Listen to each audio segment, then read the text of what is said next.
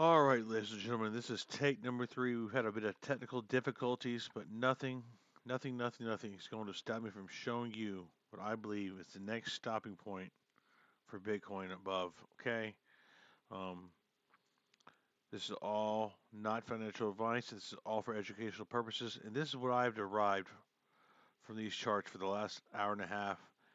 And I know a lot of people are looking for confluences and are uncertain about what's going to go. A lot of people don't even understand that technical analysis is a thing, and they're basing their their price predictions and buying of Bitcoin and selling of Bitcoin off news, etc.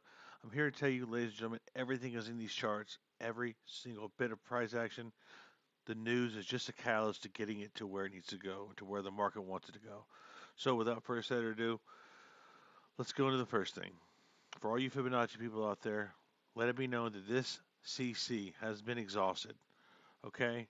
And so that in itself, the fact that we've gone through this global CC um, gives a lot of people with their heads scratching their heads. So I'm going to take this, and I've look, I've tried, I've went through all my technical knowledge database in my head, all my different tools, and everything I know and have come to one conclusion. The most confluences we have on this chart are volume profiles, and they are pretty, um, pretty amazing actually. So we're going to start with we're on the weekly right now. So I want you to take a look at where price is right now. You can almost see. It may, it may be hard to tell. Let's go ahead and just make this uh, this line a little bit. Now you can see it. It's more pronounced. That's where price is right now, fifty-one thousand nine sixty-three. If you take a look over here, though, you can see zooming in, it really is at like almost resistance here, you know? It's like these wicks are all touching it.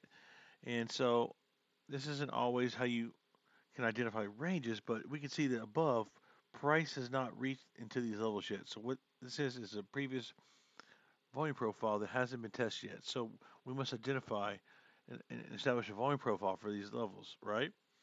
So I'm on the weekly now, but I'm going to really zoom into the daily and show you so we have one here, which is the most recent. We also have one back here. Okay, we're just going to establish them now. Now we're going to go back to the daily chart and we're going to really hone in on these levels. All right, so I want you to take a look at this. Let's see what we have here. Um, actually, I think I'm going to take and call this impulsive. Yeah, we'll take we'll take that. Uh, essentially, the value area low sitting right at 57,000 as you can see. And um, maybe a little bit easier to see right there. Okay, and over here, this one's not as important because it's not as recent, but uh, it's still, I believe it holds just as much weight.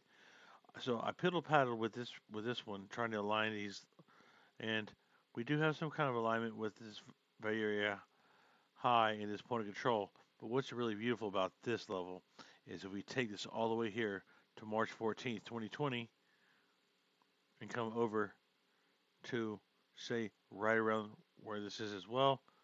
Don't you take a look at this?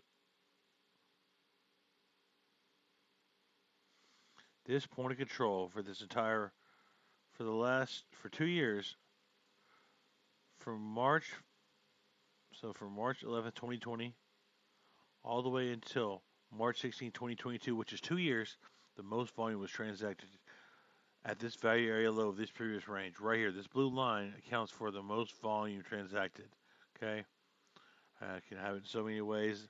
So right there, this is low overlapping our value area low right at 57,000. That's two really, really significant influences. Our third, and really what seals the deal for me, is over here in Exocharts. We have all the BTC USD history. I, I this on a five-year took really long for this to load. This is five years showing all the weekly naked point of controls. This sh- five years showing all the monthly naked point of controls and all the dailies. The only one we have above is one on the daily at 66,000. Um, and then one, guess what? On the weekly at, ladies and gentlemen, want you take a look at this. What number is this below? 57,000 to the T right there our naked point of control, untapped, massive level. That's three solid confluences there. Now, our other confluence we have in this, do we have this 786.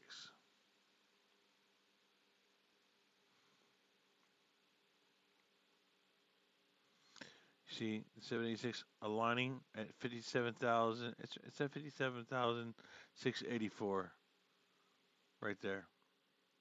Um, oh, let me zoom in a little bit more.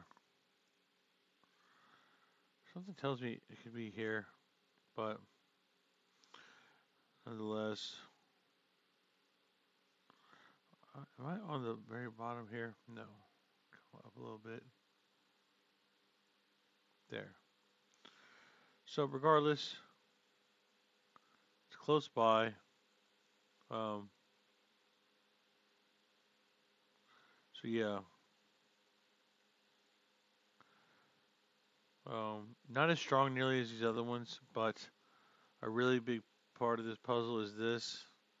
You guys can see this. Ignore that Fibonacci. You can count it as a confluence. But take a look at this as well. This volume node right here.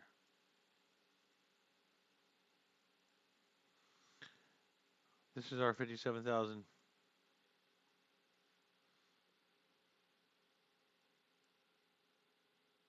You see this large volume node right here?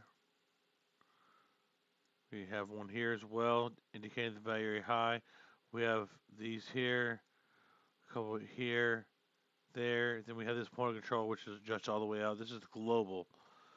Now, take into account that this volume node right here aligns perfectly with our value area low, right at 57,000, which also happens to be taken from here.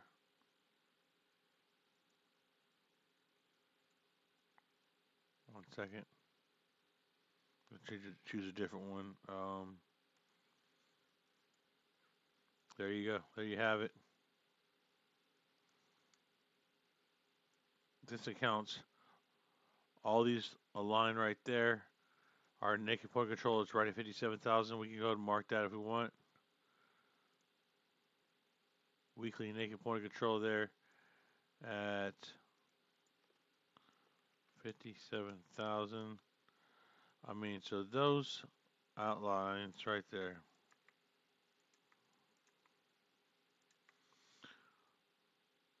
You can see this high volume node. It's going to be right there. That's just my opinion. And I think if we look at all things aside, I think we come down to probably retest this global value area low. Sorry, global value area high. We keep the short stop loss short, pretty like pretty much like around. Hey, if it gets to 58.6, let's say if it gets to 3% stop loss is nice. We have a 5 to 1 risk reward ish here. If it gets to 58,455, we're wrong. You know, this should not get, this might go to 58,000 on a crazy wick, but you want to safeguard yourself, feel free to go more. Still 4 to 1 risk reward there. Personally, I believe 57,000, 57, 8, 9 will be the top of this, and we're going to come back down, and it'll be a nice short. That's my two cents. That's the most confluences I've found on this. I dare someone else to show me more confluence on this. Like I said, if you can find more confluences in this, um, please comment in my video. If not, just like and subscribe because I doubt you will find anyone showing you the confluences I've shown you at 57,000 above. Take care.